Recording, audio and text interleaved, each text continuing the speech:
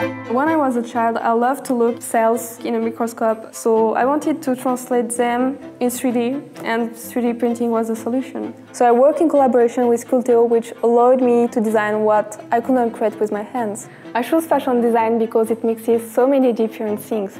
I feel like an architect of the body, an illustrator, graphic designer, and much more all at the same time. My new collection is called Virus. I wanted to use it as a metaphor of the world today, constantly evolving, adapting, changing faster and faster. I'm really interested by new technologies and I'm sure we will use them more and more in our job.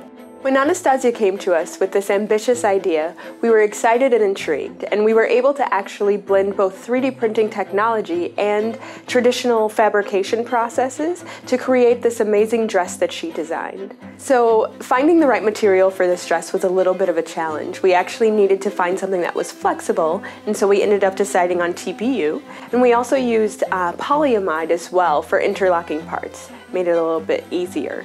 And so we ended up actually um, using these two materials, and they were a perfect blend for uh, creating this dress. When we saw the design coming out of the 3D printer for the first time, it was like magic. We enjoyed the collaborative process so much and the results that we decided to showcase it at CES 2016. My collection is inspired by cells and there is a lot of prints.